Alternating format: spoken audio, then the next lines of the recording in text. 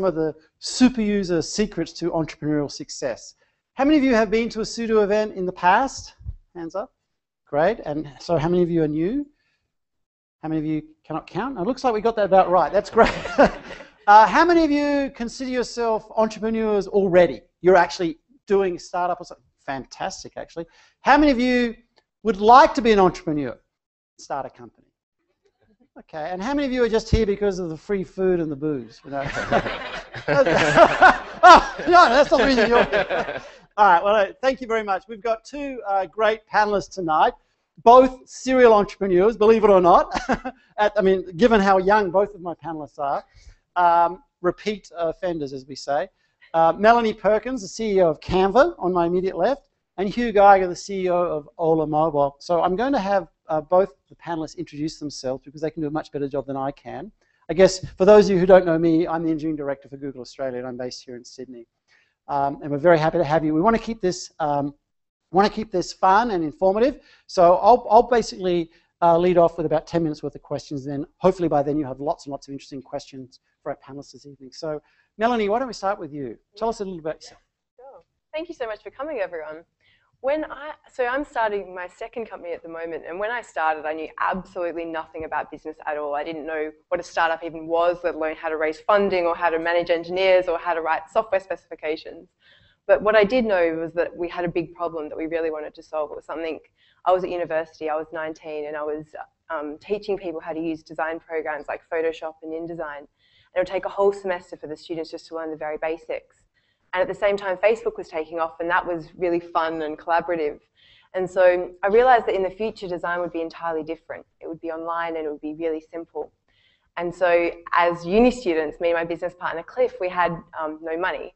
And so what we had to do was apply that concept to the niche market of school yearbooks. And that was where my first company was born. So we had the idea of an online design system applied to the niche market and built the first company, Fusion Books.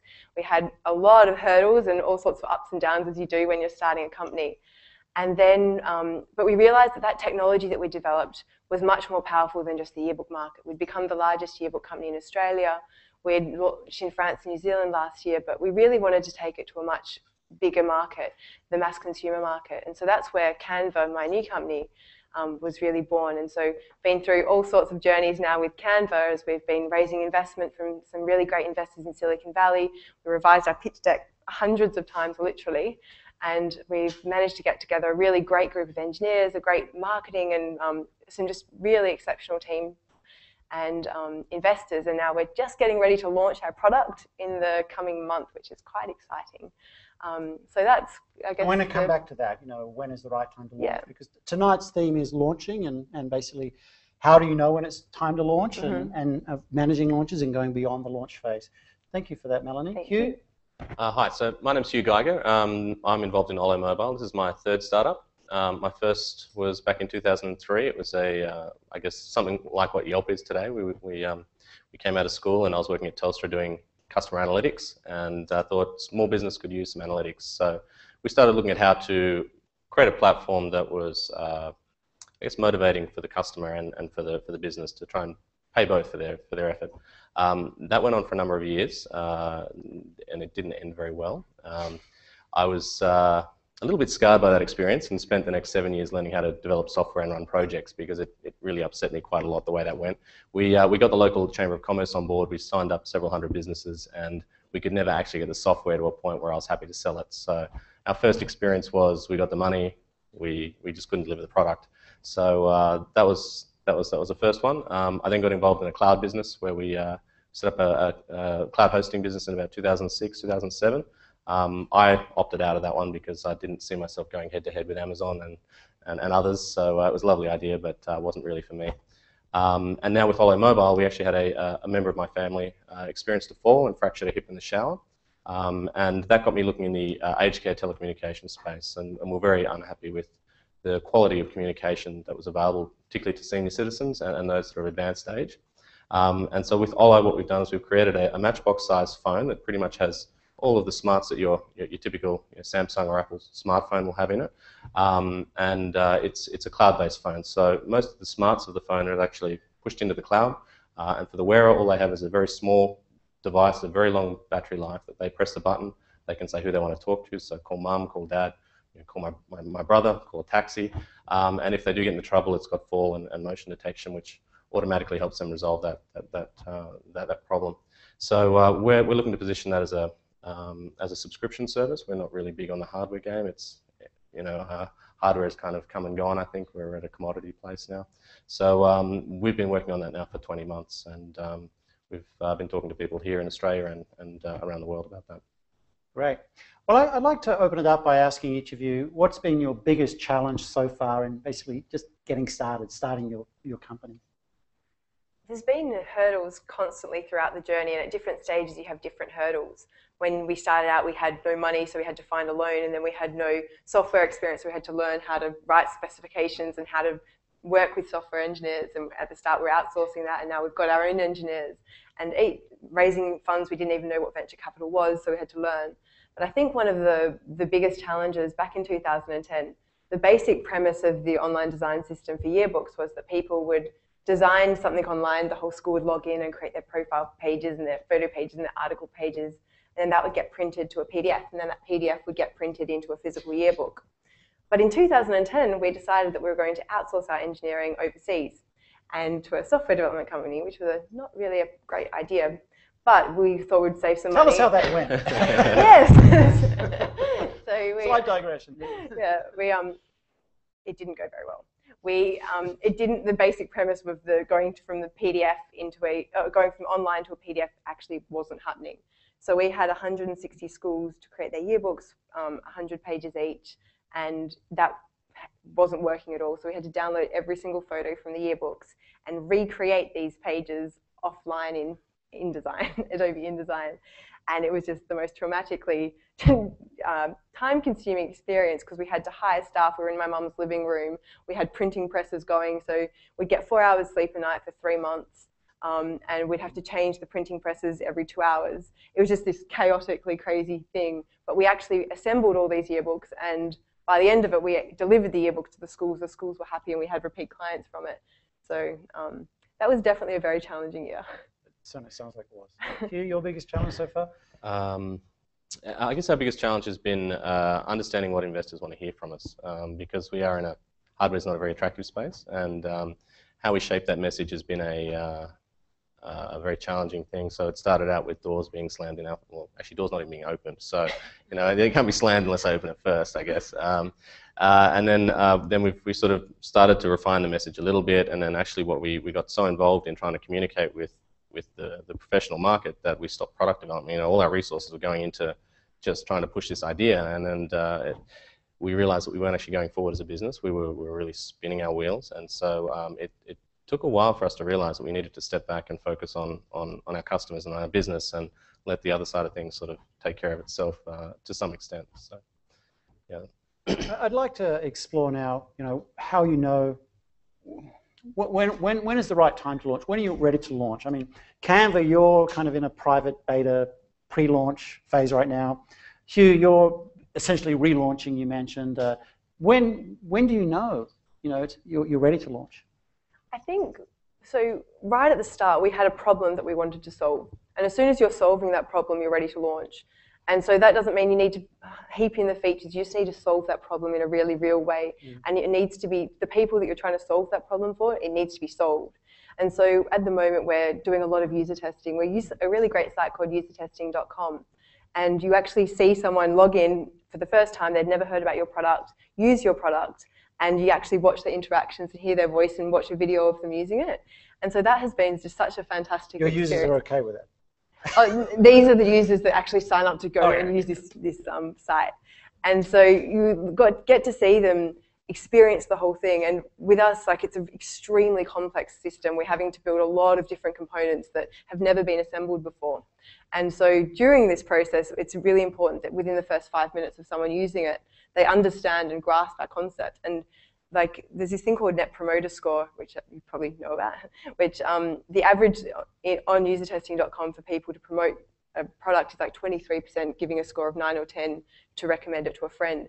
And we've been getting like 88% of people recommending it to a friend, which has been really exciting that this incredibly complex That's actually system, off the charts, by the way. this incredibly complex system for people that are just randomly selected from the general population are ecstatic about our software within 10 minutes and they can understand it and use this very normally complex design system, which I used to teach at, at university. So, yeah. That's, uh, that's amazing. Hugh, so um, tell us a little bit about kind of, you know, how you've decided when to launch or when not to launch and when to relaunch. Uh, okay, well, I guess um, uh, our, our, question of launching is actually around we have some fixed capital costs and certification that we have to get through before we can deploy. So um, a lot of the a lot of the testing and, and, usability stuff that we've done has actually been on a fairly private one-on-one basis, leaving the device with people and letting them play with it and, and looking at usage patterns around that. Um, about when to launch, I would say launch sooner. Um, Paul Graham actually has a great essay, article, whatever he does, uh, up at the moment. If you guys are interested, it kind of covers this. I read it yesterday and went, wow, it nailed it. Um, but get out sooner and, and don't strive for perfection um, because you probably find that once people start using it that it's, um, it's, it's really not what you thought it was going to be. I mean, we started out in aged care and we've now developed uh, a lot of the cooler stuff that is going to be really good in aged care was came about because parents were coming to us and saying, hey, can it do this for my child? Um, so things that we didn't think were important actually turned out to be more important and things that we thought were really cool, not really important. So um, get user involvement in some way, um, clean user involvement so those that aren't your friends and don't really know you and don't really have a, a personal attachment to you. If you can do that sooner rather than later, um, and try and uh, take that feedback with an open mind. Um, don't take it blindly, but um, try and balance that whole it's your baby um, versus you know they're new and they don't really know your space as well as you do perhaps. So yeah. So we're hearing basically you know launch early and, and, and basically as soon as possible get uh, get user feedback, um, iterate on based on that feedback, um, metrics, be, be diligent about collecting uh, metrics about how users are using your products. And, and, and I guess the, the, sooner you iterate, the, the less work it is. You know, like if, if you build this huge pile of stuff and you need to iterate on, on top of that software stack, you've now got you know exponentially more work than what you would have had if you just done it a bit sooner. So. Yeah. Okay. That's so. Just stepping back just a little bit. I mean, look, a lot of people have uh, great ideas and. Uh, you know, you, you, you probably have ideas every day, and I'm sure a lot of people you know have ideas every day. Um, how do you kind of, how do you manage this gigantic transformation from these ideas into things that you actually think you can turn into products? And do you actually, I mean, is this is this something you've actually actively thought much about, or I mean, I'm just kind of curious about the, you know, from the from the idea phase and kind of validating that idea into actually, okay, this is something we can prototype, this is something we can build. I think so. As I was mentioning before, we knew nothing about business or anything, but what we had was a, a, really big problem that we believe needed to be solved. And as soon as you feel passionate and motivated, and actually have spoken to a few other people, and they feel a little bit passionate about the problem, that's that's probably enough. We didn't know anything, and we learned everything just in time as we went along. But I think have the problem that you choose to solve needs to be one that is worth solving and once you've decided that, then everything else can be learned along the way. And validating early that it is a problem that's worth solving. Exactly. That's where your users and your, or your early customers. Hugh? Uh, yeah, I think um, what, what, Melanie said there comes down to passion. If it's something that it's that, that, that you're passionate about, don't try and be passionate about someone else's problem. Um, I think that's a kind of a fairly fraught road. So it's something that you want to get out of bed to fix for yourself um, trying to anticipate what somebody else might think is a great idea um, or something that someone else might be passionate about. I've seen that quite a lot in the startup space where they go, these kinds of people have this, this problem and I'm really passionate about fixing their problem. Um, try and find your problem because you're, you're going to have a better sense for what it is. Um, so uh, yeah, that's probably what I'll say on that front. Okay. I've got some. I've, I've got some uh, questions uh, about uh, capital, uh, which I'd like to bring up. But I want to hold those for a minute because I'd like to ask the audience if there are any questions that relate to this kind of how do you, you know, basically launch, concept to launch, and um, basically uh, that, that process. So is there anyone who's got any questions relating to this particular topic? Don't, and please uh, don't be shy. Just put your hand up and we'll get a mic to you. Got a question right here at the front. Brett? Uh, Melanie, and you, how did you start, or where did you start? Do you remember the first person you spoke to about financing? So we certainly didn't start with financing. Um, we had actually, um, the first thing we did actually was come up with the concept. We scribbled out what we'd planned on building this amazing system. Then we went and spoke to every, I'm from Perth, and we went and spoke to every single software development company we could, and most people told we were, us we were completely crazy. And they said that we needed artificial intelligence and that it was pretty much impossible to build. And then we found one company that said they would build it. Oh, we found two companies. One said it was going to cost us a quarter of a million, which we didn't have, and the other one said they would do it for 55 grand. And so we were like, okay, that's awesome, but we don't have 55 grand. And so then we had to, to go and find 55 grand, which we were very fortunate to be able to put together from some family and friends. Um, and so that was really how the road started. And then actually handing over that money was the scariest thing of our lives because it was like buying a ticket on a roller coaster that you cannot get off. And I've been on for five years, but it's a really fun roller coaster. Um, so I think that everything just steamrolls once you've decided that you really want to attack a problem, then you just everything happens along the path. And that first fifty-five thousand, that was like friends and family. This, Yeah. yeah, yeah, okay. Uh, yeah, my experience with my first startup um, laboured my perception of raising money. Um, we, we got money from a, a local business person who was not really familiar with startups, not familiar with our tech. They were just being particularly affected by, by the problem we were solving. Um, so they said, hey, take some money. And we were you know, 20 and we went, wow, that's great. We'll, we'll take the money. Um, and this particular person became a bit of a boat anchor for us. Um, he was a very, it was great when things were good, but it was horrible when things were bad.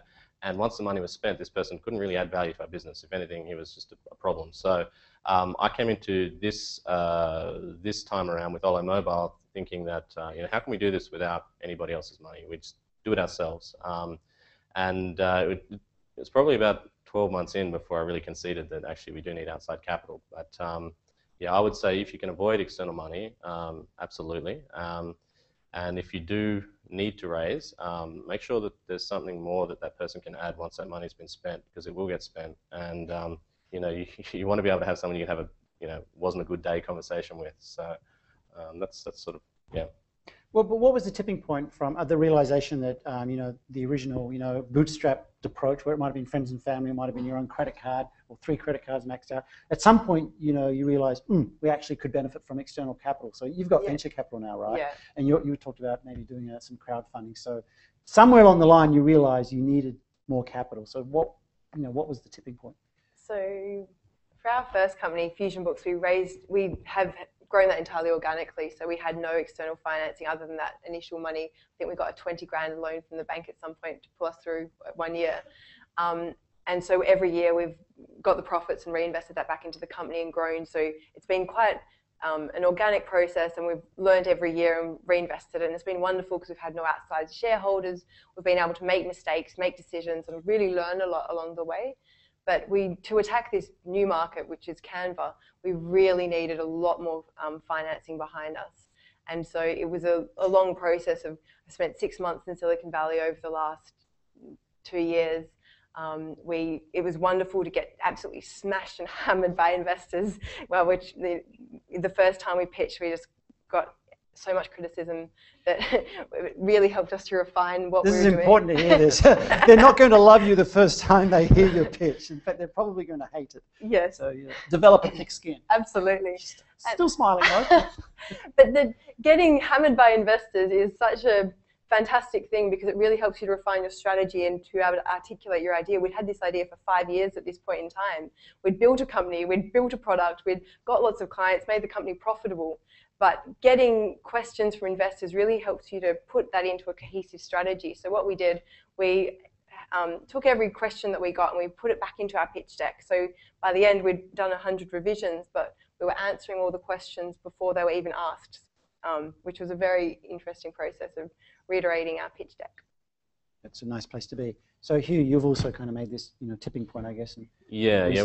We just have some significant. So we, we prototyped ourselves. So we've, we've developed a working prototype and, and had a similar experience where we went, okay, well, how's, how much is it going to cost to make a mobile phone? Uh, I don't know how much. So the risk of saying the obvious, Uh, there's a difference here. Hugh's developing hardware, and so you know there are some costs associated with doing Yeah, that. things we can't avoid. So we, we've, we've, we're developing a software app. We've got a, a cloud telephony platform, uh, and and we're also doing a physical mobile phone. Um, So when we went to market and we said, oh, how much does it cost to make a mobile phone? We had we had uh, a, UK company that sounded fantastic. They had ex Motorola engineers, so sent us a little invoice saying, oh, it'll, it'll, cost us approximately 1.2 million dollars to, to, to build this, but no worries, it'll be easy.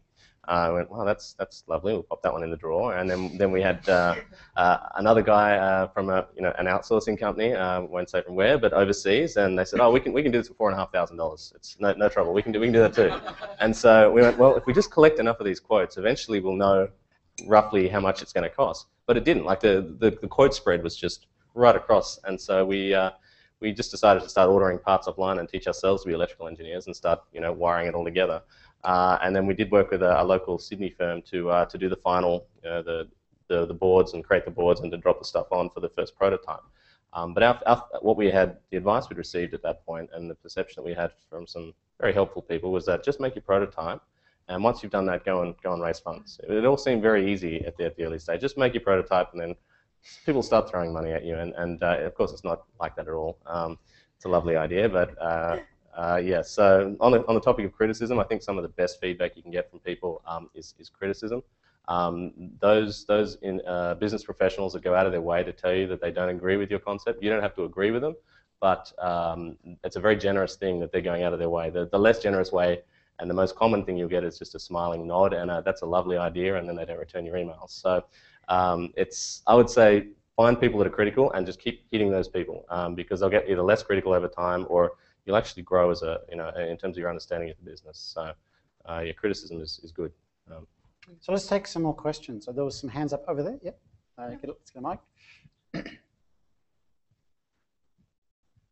Thank you. Um, so I think uh, most entrepreneurs would love to sort of uh, play around with their idea, you know, screw up a few times and fix it up and, you know, treat it like their own little baby, right?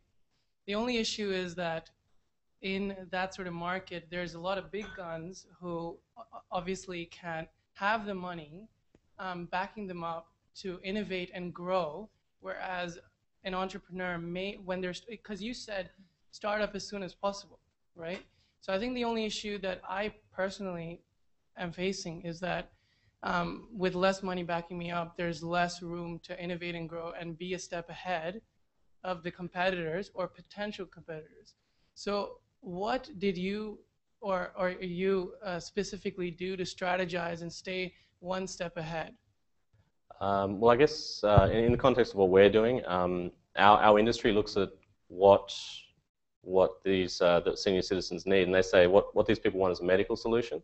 Um, what we think they actually want is, is, a, is, a, is a social communication tool that brings them closer to their family. They, they don't really want to have a, a, you know, a stranger in a call center saying, hey, are you feeling okay? They, they want to talk to their son or their daughter or their uncle. Um, so we're, we're looking at, at, positioning differently, and we know that our competitors can't really go into that space because it clashes with the rest of their product portfolio. So for them, it's they can't go there or they don't want to go there, and if they do go there, it'll look inauthentic. So um, in that respect, I, I would say that that's you know go somewhere where they can't. Um, if, if it's just a matter of money that, that you know, your competitors can beat you because it's more money, then I would say that you, you, know, you maybe need to look at your strategy and then consider a different approach. Um, big companies innovate pretty slowly though, so um, I, I, wouldn't be too concerned about big companies. I'd probably be more concerned about hungry startups that are perhaps better funded because they started in a different postcode. Um, so yeah. Or zip code as a case. Or zip code as the case may be. Yeah. Yeah, I think there's really two aspects for us. Um, go niche before you go wide. Solve one person's problem really well, because I think big companies that's something that they uh, yearbook a yearbook market isn't that exciting for Adobe or for a, you know different different larger companies aren't really going to want to focus on one particular customer. They want to have a big market. So if you've got a really big idea, which is what we had at the start, you can't pull that off when you're just starting out but you can pull it off for one user. If one user or one little segment really cares about your product and you really solve it well, that's really important. Um, and so that's absolutely what we did with yearbooks, and then now we're taking it to the wider market. The other thing is, I think it's the most unproductive thing to do to worry about your competitors. It's really demotivating. It's really, um, it gets feature for feature if you start looking at your competitors and what they're doing. What Um, in our company, we're always thinking about our own path. We know this is where we are and this is where we want to go and these are the steps that we have to get there. And everything else is completely irrelevant. We know where what we think the future of design is going to look like, and then every day we work towards that. And it's completely irrelevant if another company comes and does something somewhat similar. We're very fortunate at the moment that we don't believe anyone else in the world is doing something similar. But I think it's really dangerous to think about your competitors and actually think that what they're doing has any relevance to what you're doing actually. Because there's certainly in every other industry, there's more than one comp competitor in the market. Um, and you're very fortunate if you are the only people in the world doing that. Some people say that having competitors in the market is a sign that it is an interesting market to be in. Yes, um, they'll say, "Oh, the market has been validated." Exactly. Well, it must be good. You've got ten competitors. so, yeah, I would definitely not give any consideration to what other people are doing, as long as you're solving. I agree uh, uh, with not fixating on competitors. Totally agree. Investors, however, uh, and I'll declare I'm an angel investor will obviously ask you the questions. So give it at least enough thought to answer those questions. Absolutely. But, but and obviously don't fix that. That was actually, so when I was saying we were reiterating on our pitch deck, so at the end of our pitch deck, people would say, but what about this company that has absolutely nothing to do with what you're doing? and we'd say, what, and so what we actually did now, like I think the third slide in our pitch deck became a competitive landscape slide. So we show where all the other companies are in the market and then where we're filling this huge gap. And so that was a great way to put angel investors' minds at ease. Nip that in the bud. Yeah, exactly. All right, let's take some more questions. I, I saw quite a few hands. How, how, about up here? Hi, this is this on. okay, just for Melanie, uh, two quick questions. The, the 50 grand, when you got it from friends and family, how did you go about the practicalities? Was that just a here's a gift, go for it? Or, or was there formal structure? The second question, did you want to get the 50 grand for critical mass to get some product out than to go fishing for more capital, or was it the 50 grand, let's see how this thing goes?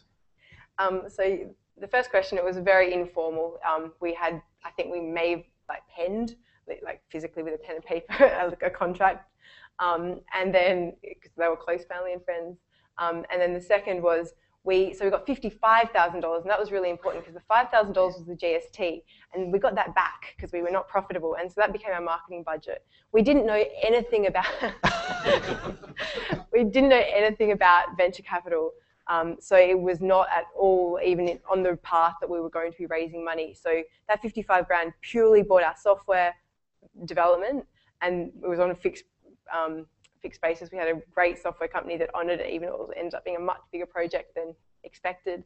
And then that five grand became the marketing budget. We got 15, uh, 18 clients in our first year, so 18 schools were using it. And then we were able to get that profits and reinvest back. So we actually had a marketing budget that was bigger for the second year. Over there, question on the right. Uh, question for Hugh. Um, you mentioned before about doors not being opened because you're dealing with hardware. Can you just sort of elaborate a bit on that? Is, is hardware unsexy or investors don't like it? What's going on there? Yeah. Um, the, uh, I mean, the, the, the, feedback that, or my, my personal experience um, has been that there's a very strong perception, and it's probably the correct one, that just about anything that you can throw onto a circuit board now can be thrown onto a circuit board by someone else. Um, someone else who uh, can flood a market more quickly than you. So if your if your business is selling um, you know a better widget, um, speed to market is, is absolutely critical. And if it does turn out that you know it was quite popular and you sell 100,000 units or something, um, th that you're going to attract the attention of someone else who's got more working capital and better access to retailers or whoever else, and they will work around you. So um, if you are looking at hardware, I would um, suggest that you look at uh, subscription models or models that tie a, a widget to, to, to, a fundamental piece of software. Uh, and we're seeing that with, with smartphones now. Like, you know, Google Glass is, a, is, is an accessory for, for an Android phone, which is now, you know, the, the phones themselves are becoming commodities. Um, seeing Apple get into the same space where they're trying to build on what is now fundamentally a commodity. Um, so yeah, if you're in the hardware space, I would say look for recurring revenue and look for a way that you can lock out people with better network access and better retail access than you. That's great advice. Question up here. My question is more about after your launch, managing the scaling process. How painful was that? I think um, I was having a conversation with one of our engineers the other day, and he was explaining how every power to the 10 is a huge new set of challenges. So when you go from 10 clients to 100 clients to etc. Um, and so I think that the most important thing, especially when you're starting, is to not worry. Like you need to obviously have the correct infrastructure in place, but without being overly cautious and building for 10 years into the future. But if, I think delighting the one user and delighting 10 users, and actually having their user experience being a really powerful um, and something that they want to share with other people is is probably the most important aspect, especially at the starting stages. Uh, yeah, I, I can't really add too much to that. Um, I would say that if you, uh, when you do start engaging with customers, um, try and be respectful of their time and be uh, not too optimistic about your delivery timeline. Um, in the past, we've burned customers by going out too early and saying it's coming tomorrow, and then have it not come, and then contact them again and say, well, actually, actually it's next week, uh, and then do that for six months. It's they, they, they, they get sick of hearing from you. So, yeah, timing is a, a critical consideration, I would say it's good to be thinking about. I mean, even though you might be building your prototype and the, the, launch may seem like some you know mythical date in the future, I think you know it's good to be thinking about at least the technologies that would enable you to scale. For example, you know you talked about you know you, are using the cloud as you know your subscription capability, yep. and I'm sure Canva's using the cloud big time too.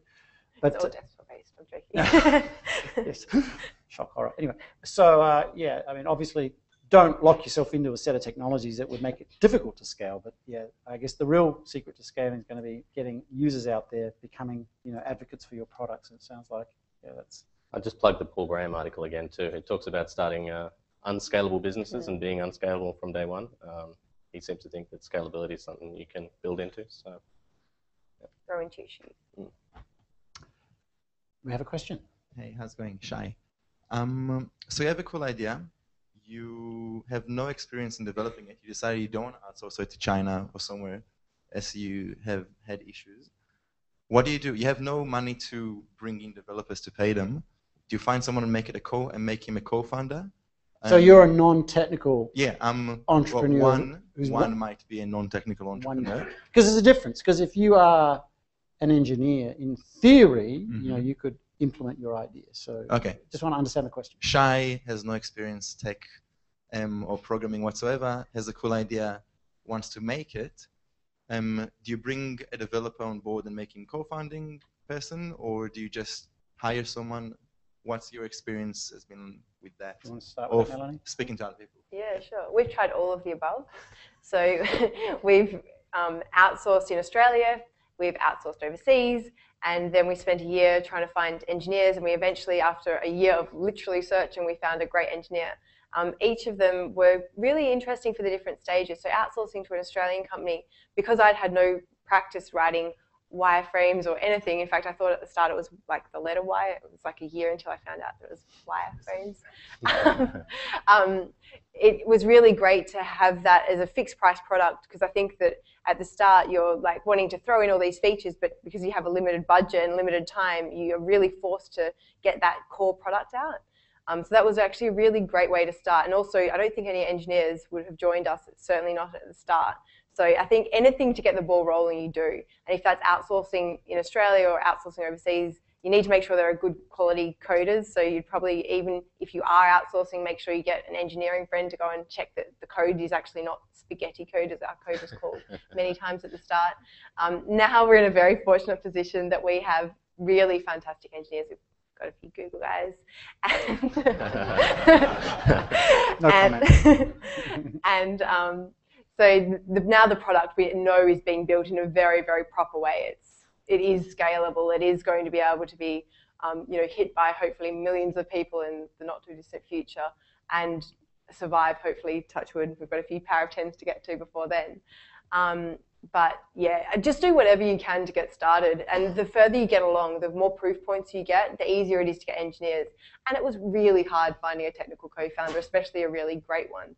Um, so yeah, after a year of searching. I went to San Francisco. I went to every single hackathon, every single conference, every engineering conference that I could.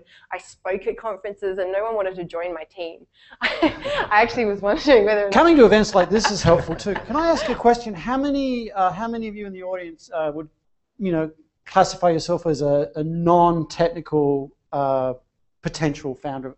There's quite a few of you. Okay, so you should be networking like crazy tonight. pitching your ideas, just like Melanie was.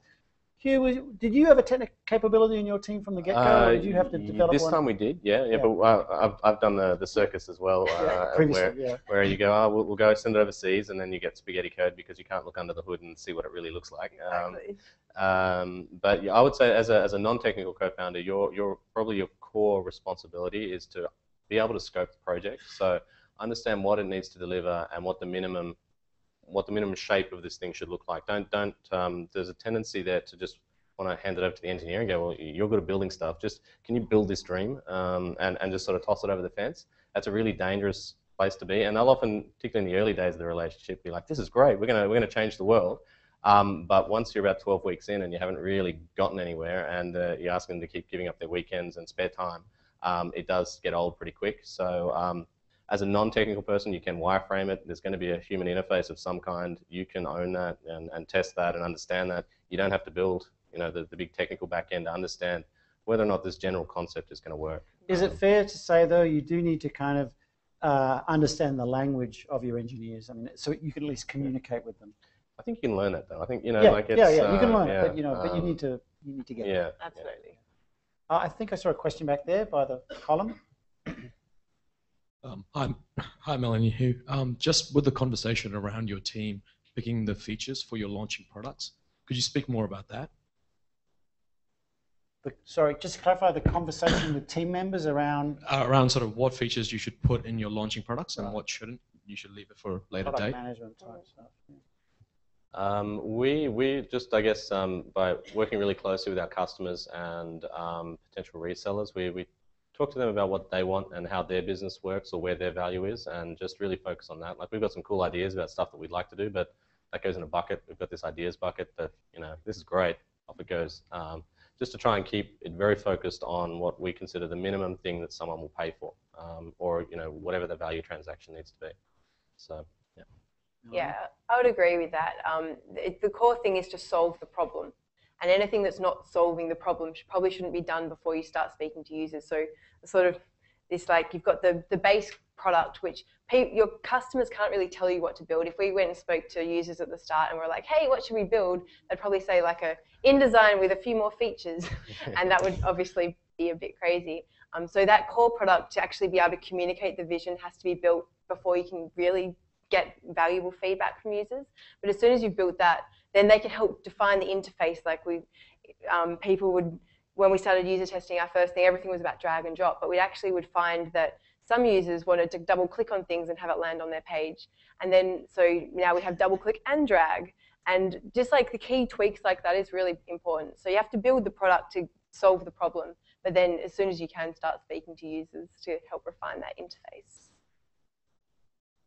Question over there, far right. Run, Brett, run. We're on air. No dead time. This might be a little out of context because I've been out and had to move the car and came back. But what do your investors want out of the companies? What are they looking for? What is the payback for them? I, for us, um, the investors that invested believed in our vision and believed what we could actually build. So we would go and paint what we are planning on building over the next five, ten years, what the end goal is, then what our next steps are, the, the year goals, the two-year goals. And so I think the investors that ended up investing in Canva believed in our vision of where we can take the company. Um, and I think that's really important because people that didn't believe in what we were doing actually works quite well. They didn't invest. so um, I think the investors that want to come on the journey and hopefully build a really big company um, with us is the ones that ended up investing. Yeah, I would agree. Shared vision. Um, if they share it or they don't, and uh, you know, if someone clearly doesn't get it, um, just move on. There's, there are other people, and uh, they're probably not the right person. The trick, of course, is finding the right investors who do share the vision. And I think when they sh- investors that share the vision in the back of their minds are thinking, well, this is a great idea. They're eventually going to be really, really successful, and I'm going to make some money too. So they, they correlate. But obviously, if you don't have the vision, you'll pass. Yeah. Um, so uh, let's take one over here. Yeah. Hi, this is for both Melanie and Hugh. Um, other than the vision and them agreeing with the vision, um, what else did uh, you have to demonstrate to the investors that you had? You know, did they want to see traction? Did they want to see 100 users, repetitive use by users, etc.? Um, they want to see as much as you can possibly show them. So for us, we had Fusion Books as the benchmark to say, yes, the technology is possible. Yes, we can build something. Yes, we can get something to be profitable. We have an idea about managing companies and, and growing and all those sort of things. Um, and we, it, like the competitive landscape, there's, I don't know, 50 odd things that you need to prove and you need to get enough ticks in enough boxes to be able to get them to believe that you're not going to be a complete flop with the money and that you can actually build something of substance. Um, there's, so I, would say the key things are, um, but I think the key thing is that they believe that you can actually build this new future. Well, that was what the plan is for us, that we have an idea of what we believe the world is going to look like in design um, in the future, and they believe that we have ticked enough boxes to be able to get there. Yeah, um, our experience uh, has been mainly around traction. Um, demonstrate that someone's going to hand over some money for your product, or you know, if it's not a direct sale product, that there's you know people using it and that it's sticky, I guess. But for us, it's been about traction and being in hardware. That's a catch-22. You know, we we can't deliver our product um, without certain capital investment. We can't demonstrate traction without that. Um, we were asked initially to get some uh, you know, letters of intent and, and signed documents from various people saying, oh, we'd love to buy a bunch of these. Um, that turned out to be a little bit of a red herring. Um, you know, we, we had several million dollars in paper sales um, that didn't help. So um, that's why we're now sort of looking to, to crowdfunding because we can show end users paying for a product. Um, and um, yeah, so crowdfunding is, is our circuit breaker for the traction question. Yeah. I'd actually add, added one more thing. Um, so the investors, we started building a relationship. I met the first investor. We had a five-minute conversation after a conference um, in 2010. And then every few months, I would send an email saying, these are our product milestones, these are our user milestones with Fusion Books, the first company. And so we're building a relationship over quite a substantial years period of time and demonstrating the fact that we were succeeding. When we said we were going to do something, we did it. And I think that's really paramount. You don't need to start having um, conversations with investors when you're wanting money. You need to start having them early on in the piece. And you need to start proving that you can actually do what you say you're going to do. And I think that's probably one of the most powerful things. I've got, there's this um, uh, diagram published in Pando Daily that showed the network effect of all the investors that we met. So each investor, when you've actually won over an investor and they want to invest, they would introduce us to more investors. And so actually we didn't get any um, any investors that just sort of met after a five minute conversation. They didn't say, hey, here's a checkbook, um, write your own check. Um, it was always like one investor after having known that person for a few years would then introduce us to more investors and it was a very um, it was a very slow process of course um, but being able to prove that you're achieving is and doing what you say was paramount it's, that's a good point because it's worth noting that investors like to co-invest with people that they're familiar with too. So it does it does not only you know take mm. some of the risk out of it too. You can share the uh, you can share the uh, the diligence that's why um, angel investors kind of come together as to form syndicates, and that's why you know venture capitalists will share the diligence too. Let's take a question from the back by Brett. Hi, I'm Sean. I'm doing an MBA at AGSM. First of all, thank you, Melanie and Hugh, for sharing your experiences with us. My question is for both of you. What do you think are the most common mistakes that people make during their first startup or things they should watch out for? A great question. That is a great question. I think there are a lot of mistakes that you will inevitably make because you don't know, like, well, in my situation, I knew absolutely nothing, so you have to learn as you go. Um, that's obviously part and parcel, but I think one thing that you need to get right from the start is that you're solving a problem that is worth solving. And that means that because eventually you will get, you know, if you if you're in the right spot, you will get users, you'll get products, you'll get engineers, and even if it's taken five years, as it has in our case, to get all these things together. Um, but if all in all, if you aren't working on something that's worth solving, it will make it very challenging to um, build on the people in the bandwagon if you're not headed in the right direction. Yeah, I wouldn't worry too much about making mistakes because you, are going to make a lot. Just try and make them quickly. Um, uh, you know, don't. Very don't, sage advice. yes. uh, and it is. And learn from the mistakes. Uh, well, you know, uh, sometimes I guess. um, the common ones I've seen are, um, uh, yeah, outsourcing magic. So just saying, I've got this dream, can you someone else build it for me? Um, particularly looking at cheaper markets like uh, when you outsource to Elance or something like that. Um, you, you actually need to know a lot more about what you're doing to outsource to a third party than if you were just doing it yourself with a friend. So um, I see a lot of uh, particularly non-technical founders go, oh, okay, well, I don't really know how to do this, but it should just be a simple matter of throwing this together. Um, uh, so be very wary of that. You really need to understand your product better than anybody else. Um, the other thing I've seen, I've seen uh, technical founders do quite a lot is um, just piling on the features, just having like really bad scope control and feature creep and saying, well, we're going to get this thing out. It's going to be minimum viable. And then two years later, they're still building. Um, and you know, it's it's just a matter of being disciplined and focusing on what the core value is and really trying to get to that point. Um, and if you get it out and customers don't like it, then consider that a learning curve and take that feedback and tweak it, um, but do it do it quickly. So on the subject of mistakes or potential mistakes, I mean, what would you say about people and, and choosing, you know, co-founders and, and your first employees or colleagues, as the case may be? I mean, do you make uh, mistakes uh, in those in the people area too, and how do you, uh, how do you uh, avoid those? Probably the first time around, yeah. The second time I've been a lot slower, I guess, to, to get a business partner. Um, you know, i my, my current business partner Ken uh, Ken Mack, and he he and I had known each other for a while. We'd actually worked on another project just as a as a test to see if we can get along because you know it's it's pretty important that you get along. Um, so I would say hire slowly, network really aggressively. If you need to find someone, get out and get to all these kinds of events. You're already doing great things by being here. Um, but go to all of them and, and meet as many people as you can. Um, get on LinkedIn and LinkedIn stalk people, Twitter stalk people. Um, you know, it's just just really plug in. Um, I, compared to San Francisco, Australians are really quiet. Like there's not people really aren't sort of in the mix as much here, and I think that that's something that we could do better. So. I to come back to that because this is part of what we're trying to do, obviously. But yeah, Melanie, people? Yeah, I think we've been really fortunate. Our staff have come from all sorts of bizarre places. We met one of the backpackers. I've had the same business partner for five years, and he's been absolutely exceptional to work with. We've got a new technical co-founder on for Canva. Um, it took a long time to find these amazing people. And so I think being really selective about who is coming into your team is absolutely paramount. But the people that have ended up being in the team have all, you know, really shared the same vision.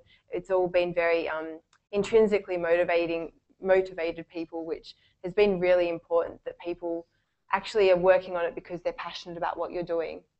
Hmm. Well, one other thing I, I picked up over in the States was um, have a vesting that's a cliff. So, you know, say, oh, you're my technical co-founder, you'll get half my company or, or whatever it is. Um, but on delivery of A, B, C, and D and over this period of time. Um, that way you don't get stuck in a situation where I know um, another Brisbane company had issues with um, certain members of the team no longer really wanting to participate, but still having a, a an ownership stake in that business. So um, if, if you do meet someone and you don't know them very well, uh, have some sort of controls in place that allow you both to back out if it doesn't work. So just to clarify, any equity you issue, shares would vest over time, typically over four years, but um, you would put in place a, a one-year cliff, which means they have to be there, or and it could be tied to yep. a launch. Yep. One year is fairly common, but uh, yeah, just basically provide a little bit of insurance I think we've all made you know mistakes where you know someone crucial left too soon, and, and then yeah, uh, you want to avoid that.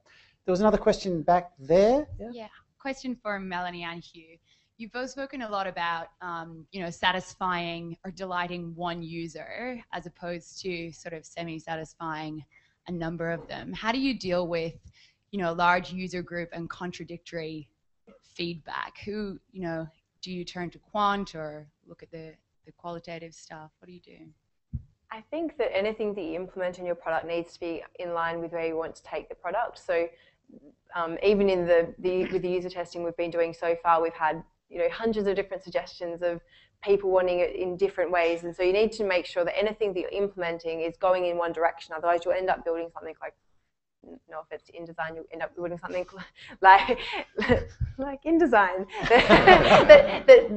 which is great for the professional market that is very um, wants to spend a lot of time learning very complex software. But the whole point of our software is that it's simple, and so it's really important that we stick to that vision and stick to the, the anything that we're implementing is in line with that. So we listen to a lot of people, but then we what we implement is very selective to make sure that it's in line with the, the path that we want to take.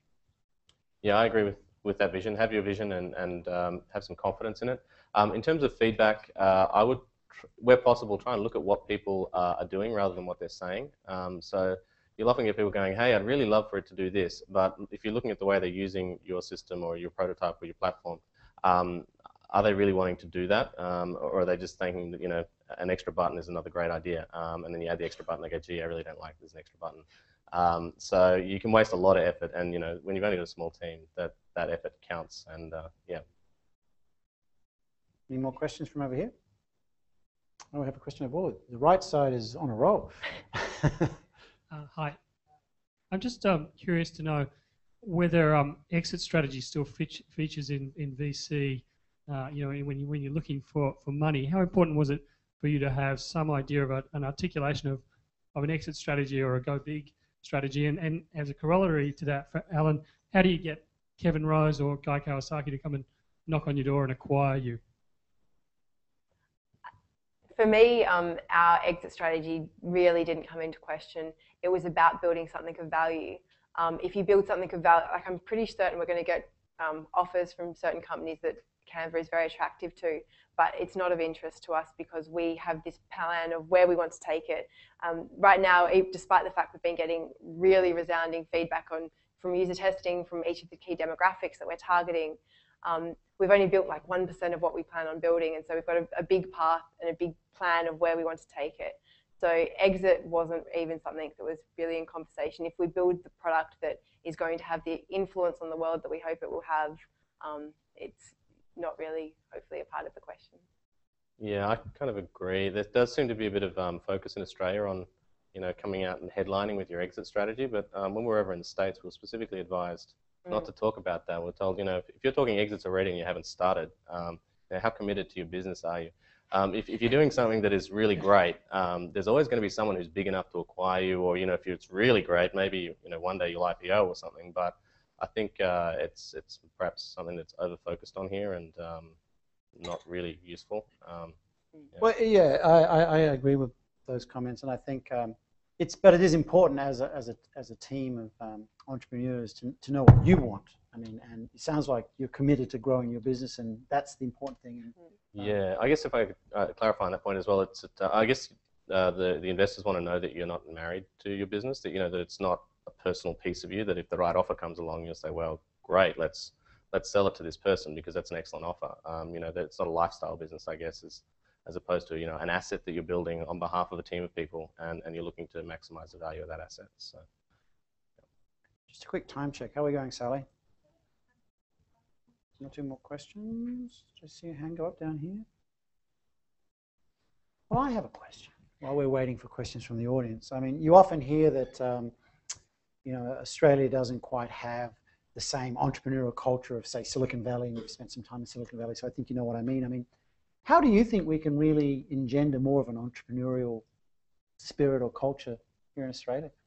I think we're really starting to. Um, I think the venture capitalists like Blackbird, that's one of our investors that have come onto the scene, they've got this global focus, they've got connections with Silicon Valley. I think things like this is just fantastic. Like when we started a startup, as I mentioned before, we didn't know what a startup even was. And so I think that startups are something that actually happen naturally. Like when you want to, when you've got a problem you've got to solve, that's a, that's a startup. We were one for a few years before knowing what it was. But all this, the media interest that's starting to really grow in Australia, um, all the different aspects that are really starting to to flourish is absolutely very supportive. Having you, when you're at school, being a in a startup or an entrepreneur wasn't even something that I considered. And yet, but you you had your first uh, startup when you were 19 years old, yeah. Fusion Books, right? So yeah. something triggered in you, right? I'm yeah. really curious. I mean, we'd like to replicate that. We'd like to have a thousand, ten thousand, no, a hundred thousand. How do we do that? I think that. well, Hugh, how do we do that? Sir, I'm serious. A clone button. Clone. Okay. We're going to clone a panelist. Um, uh, these kind of events are great. Um, we had Tyler Crowley in, in town a few months back, and he was he built, you know, he's contributed significantly to uh, I think it was uh, Los Angeles, their, their startup community. I think that's something he was known for doing. Um, it's just getting out and creating that critical mass on, on both sides. Though. Like it's a two-sided market. Like we, we, see all these startups pitching two-sided markets, and the investors go, "Gee, how are you going to build the other side of that market?" We've got the same problem here. You know, we've got a small pool of startups, a small pool of investors.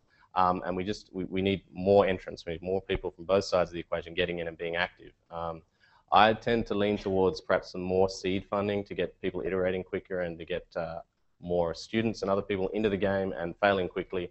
Um, because the more of these failures we have, the more winners we're going to have, and that will bring in you know more money because everyone loves loves to see a winner. Um, so I just think we need more churn in our space. I think we're we're, we're starting to get some momentum, but uh, there definitely needs to be a lot more churn. So yeah. So I hope everyone in the audience is hearing that. Oh, we have a question back there. Okay. Opportunity to have the last question. Uh, basically, according to what I have seen from my friends, um, so here I'm quite curious to get a you know answer from you that uh, during the uh, when you first started your company, so at that stage, so have you uh, between you and your co-founder or co-founders, have you guys put in place certain like formal or legal documents in terms of the shareholders, you know, rules, uh, require job scope, scope, and uh, later on the profits or you know the share, you know, those sort of documents have you ever uh, put into place? Um, for our first company, Fusion Books, we, um, me and my business partner, didn't have any documentation um, for the first. Oh, actually, I, I, don't even know if we still do now, but um, we do. We, um, but it was it, it, was more about trust, and it was more about um, you don't have a job scope per se. I think the job of the founding team is to do every job that other people don't want to do. To um, to put like there's a now we've got a, a, a, really great team and we've got a few different job roles. I feel like our job is now to be the jigsaw puzzle piece, piece people that put the jigsaw together all the time. Um, so I don't think job scope is necessarily that important, but the um, now in Canva we absolutely do have all the document legal documentation, especially because we you know have vesting schedules as Alan was talking about for all our staff. Um, our team actually is probably more accurate. Um, so yeah, now we have the legal documentation, but and it, especially if you're um, starting to found a company with people you don't know, it's really important with the you know the vesting schedule and the cliffs and all that sort of thing. Um, but it depends, I guess, how well you know your co-founders. Hugh, would you like? Uh, yeah, look, I think the documentation is really important. Um, that you, it doesn't have to be hugely complicated, but just something that sets out the ground rules. Um, I agree about the the no job description. Like if it's got to get done, it's got to get done. And uh, I think it might be unhelpful to draw artificial lines early on. Um, I mean, you're going to find out that your co-founder is better at, and faster at doing something than you are, and then they'll just tend to do that work. But if they're unavailable, the work you've got to do the work. So um, yeah, I, I, definitely the legal stuff, um, deed of assignment as well. Make sure all the IP is going into the company. That's really important. Yeah, you want to make sure the, yeah. the company is getting the IP, not the individuals. Yeah, I'm glad you mentioned yeah. that. So, mm. Yeah, but yeah, the basics and obviously you know vesting agreements too. I mean, look, all companies at some point have to formalize uh, documentation because if not, investors will demand it. They, they want to know there's a certain amount of yeah. structure, but um, you know, at the uh, you know, it will be underpinned by trust between the founders and the co-founders and the team too. So you've got to have both. I mean, documentation will not fix uh, a trust relationship that's not in place. So yeah. you've got to make sure the trust is there. I, oh, what's that, Brett? We have time. We have time for one more. Okay. I just have one question for Hugh. You said you came from an analytics background. I guess for a lot of budding entrepreneurs that kind of have an, a risk averse mindset, they're always trying to gauge whether their idea is feasible. Was that was that your rationale for yeah. coming out coming yeah. out from an analytics background? Um, yeah, I'm, I'm, I'm a big data nerd. Um, I, I when I got into this, I didn't have a co-founder for probably the first four months because I wanted to validate certain go or no-go points in my business model. Um, so I took that upon myself to do that before I involved other people.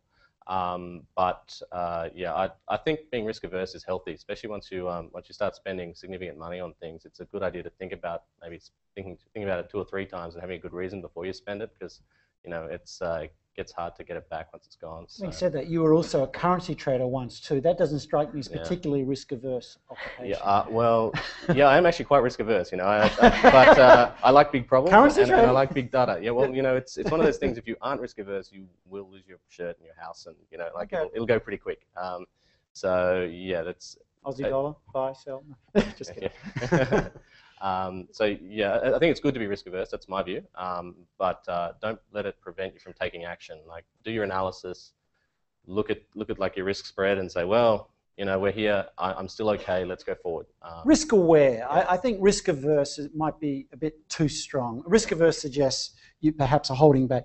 Be aware of the risks and measure the risks, understand the risks, quantify the risks, and but then, yeah, but then, dive in then it still looks good. Yeah. yeah.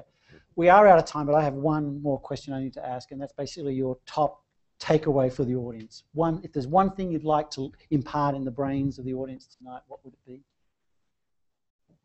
The most important thing I think about starting a startup is absolutely determination. Absolutely everything else you will learn as you go along. Um, it's not important to have the plan and everything exactly, you know, knowing everything, what you have to do. If you know where you would like to go, even if it seems completely illogical that, you know, we're university students and believe that we could change the world of design, we, you'll eventually fill the boots.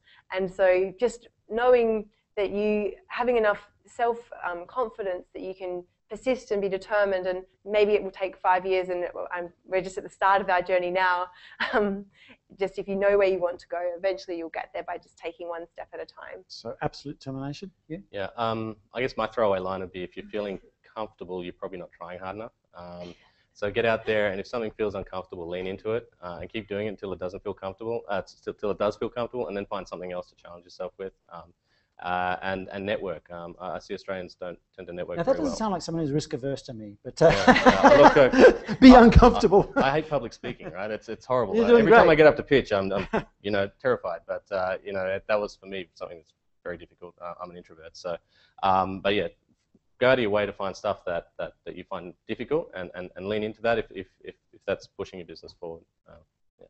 Well, thank you very much. Please join me in uh, thanking both Melanie and Hugh. Fantastic. Thank you. Thank you. And please network. Thank you so much, guys.